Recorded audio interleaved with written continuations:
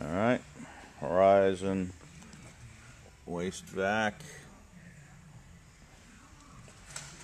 220 three phase power. Plug her in. Switch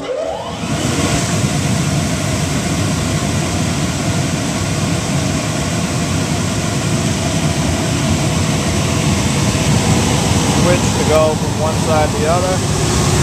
Got a pretty good length hose that would go from the machine to the intake. Then we've got these two rods that'll hold up the upper bags when the machine's not on. Because when they when it's not on, they're gonna fall.